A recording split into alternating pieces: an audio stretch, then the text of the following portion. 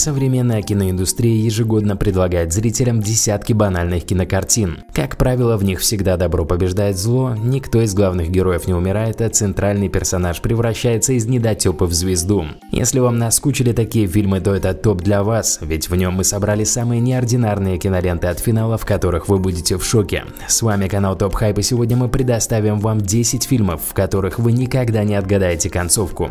Погнали! Убийство в Восточном экспрессе. Рейтинг 6,5. Многие критики считают, что предыдущая экранизация этого известного на весь мир романа Агаты Кристи были несколько успешнее. Некоторые продолжают утверждать, что книга лучше. Путешествие на одном из самых роскошных поездов Европы неожиданно превращается для его пассажиров в расследование загадочного убийства. Фильм рассказывает историю 13 пассажиров поезда, каждый из которых находится под подозрением. Роль легендарного сыщика здесь совсем иная. То, что она намеренно сделана далекой от классического образа, особенно подчеркивает тот факт, что ее исполняет сэр Кеннет Брана. «Мама» рейтинг 6,6. Этот фильм показывает нам молодую пару, нежно любящую друг друга. Резкие перемены в идеалистической картине начинаются, когда в их дом один за другим начинают вторгаться незваные гости. Некоторым зрителям эта фаза закручивания сюжета показалась слишком затянутой, но виной тому лишь неспособность логически объяснять то, что происходит на экране. А ведь именно в этом и заключается прелесть картины. До самого конца вы не сможете понять, что происходит и чем все закончится. Предупреждаем сразу, в фильме есть сцены не для слабонервных. Фокус. Рейтинг 6,6. Девиз этой картины, выпущенной в прокат в 2015 году, «Узнай, в чем фокус». Это в полной мере выражает происходящее на экране. Мы не будем подробно вдаваться в сюжет, чтобы не заспойлерить вам его повороты. Скажем только то, что количество сюрпризов в этом фильме будет просто зашкаливать. Довольно быстро вы привыкнете не доверять ни одному слову героев, но даже тогда сценаристам все равно удается вас удивить. Фильм – это история об опытном мошеннике, который влюбляется в девушку, делающую первые шаги на поприще нелегального отъема средств у граждан. Роли двух главных героев, связанных противоречивыми отношениями, исполняют неподражаемые Уилл Смит и Марго Робби. Ходят слухи, что изначально роли предполагалось отдать Эмми Стоун и Райану Гослингу, но согласитесь, тогда настроение в фильме было бы совершенно иным. Мгла. Рейтинг 7,1. Эту картину, снятую по повести Стивена Кинга, поставил знаменитый Фрэнк Дарабонд, который прославился экранизацией великой повести писателя Рита Хейворд и «Спасение из Шаушенка». Мгла отличается от книги, пожалуй, самым главным – финалом. Сложно представить себе, что писатель смог одобрить такой поворот событий, однако именно так и сложилось. Кинг остался всем доволен и заявил, что сам хотел закончить роман именно так. Спешите посмотреть. Это тот редкий случай, когда прочтение книги заранее не обязательно означает спойлер фильма. Фрэнк Дарабонт хотел экранизировать повесть «Туман» Кинга с 1980 года. Когда впервые прочитал ее в составе сборника «Темные силы», он хотел, чтобы именно этот фильм стал его режиссерским дебютом, но все вышло иначе. Первоначально Фрэнк Дарабант хотел сделать фильм черно-белым, желания режиссера были учтены производителями. Второй диск американского двухдискового подарочного издания содержит черно-белую авторскую версию картины. Все фильмы кажутся вам знакомыми по киноафише, но недостаточно продуманными. Тогда оставьте место для десерта. Чем ближе к концу видео, тем ближе к настоящим жемчужинам мирового кинематографа. Хотите узнать, какие признанные шедевры кино могут похвастаться неожиданной развязкой? Тогда оставайтесь с нами до пункта номер один и вы все увидите. Дальше интереснее. Девушка с татуировкой дракона. Рейтинг 7,8. Этот фильм в нашем списке еще один классический представитель детектива, но на этот раз остросюжетного. Снят он по мотивам романа Стига Ларсена. 40 лет назад Харриет Вангер бесследно пропала на острове, принадлежащему могущественному клану Вангер. Ее тело так и не было найдено, но ее дядя убежден, что произошло убийство и что убийца является членом его собственной, тесно сплоченной и неблагополучной семьи. Он нанимает опального журналиста Микаэля Блумквиста и татуированную хакершу Лизбет Саландер для проведения расследования. Черный лебедь, рейтинг 8 баллов.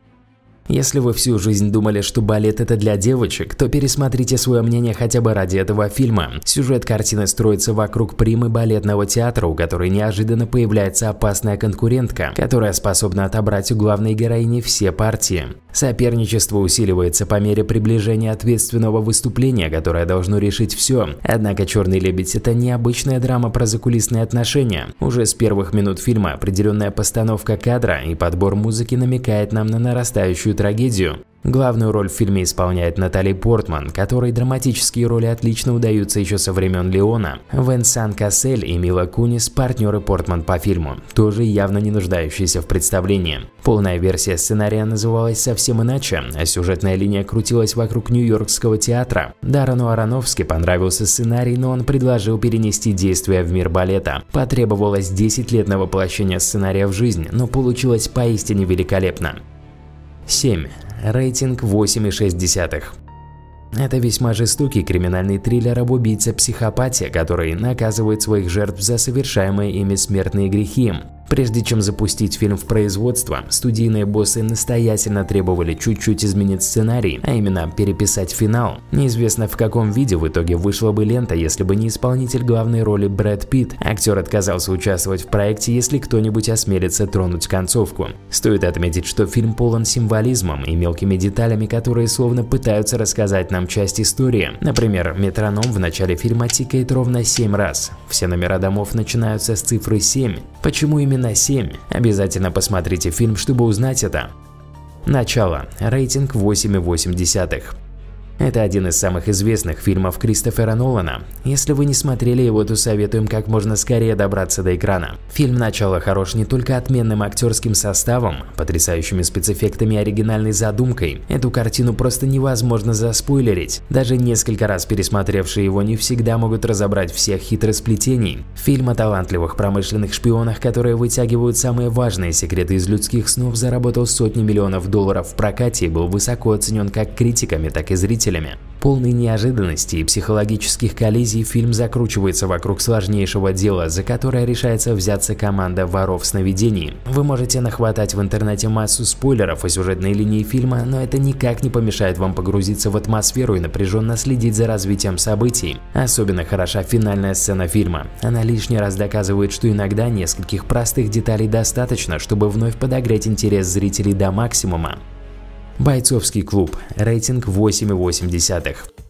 Бойцовский клуб – фильм, снятый по книге популярного писателя Чака Паланика. Сотрудник страховой компании страдает хронической бессонницей и отчаянно пытается вырваться из ужасной и скучной жизни. Однажды в очередной командировке он встречает некоего Тайлера Дёрдена, харизматичного торговца мылом с извращенной философией. Тайлер уверен, что самосовершенствование – удел слабых, а единственное, ради чего стоит жить – это саморазрушение. Этот герой выражает основную идею произведения, но зрителю предстоит увидеть и множество других ярких героев. Чего только стоит одна Марла Сингер, образ которой воплотила в жизнь великолепная Хелена Бонем Картер. Тайный бойцовский клуб, основанный приятелями, становится отправной точкой совершенно безумных приключений. Линия тревожности и бессонницы главного героя проходит красной линией через весь фильм, постоянно напоминая зрителю, что что-то здесь не так. Что именно не так и почему, это вам стоит увидеть своими глазами. Разгадать главную интригу фильма до развязки не удалось почти никому. И даже после финальных титров люди продолжают с пеной у рта обсуждать только что увиденное.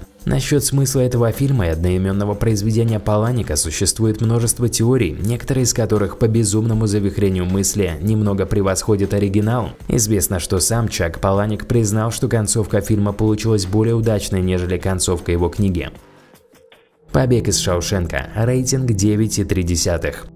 «Побег из Шоушенка» – американский художественный фильм-драма 1994 года, снятый режиссером Фрэнком Дарабантом по повести Стивена Кинга «Рита Хейворд и спасение из Шоушенка». Лента рассказывает о банкире, который в результате ошибочного обвинения в убийстве своей жены и ее любовника приговаривается к пожизненному сроку, оказывается за решеткой и решает осуществить побег. Изначально казалось, что большого успеха в прокате картина иметь не будет. В 90-х в цене были более легкие фильмы, способные отвлечь людей от монотонных серых будней. Немногие загорелись желанием смотреть в кинотеатре тяжелую драму про заключенных, да еще и с не слишком известными на тот момент актерами в главных ролях. Однако после первых же дней проката первые зрители начали делиться со знакомыми своим восторгом от картины. Для многих решающим моментом стало то, что на самом деле это не мрачная и безнадежная, а напротив, воодушевляющая история о надежде и вере в лучшее. В итоге в 95 году история побега получила 7 номинаций на премию «Оскар». К сожалению, ни одной статуэтки взять не удалось, но народную любовь завоевать точно получилось. Несмотря на то, что фильм считается признанной классикой кинематографа, многие зрители, особенно представители молодого поколения, до сих пор не смотрели этот великий фильм. Настоятельно рекомендуем его к просмотру, ведь с какими бы ожиданиями вы не сели смотреть его, после финальных титров вы долго будете отходить от пережитых впечатлений.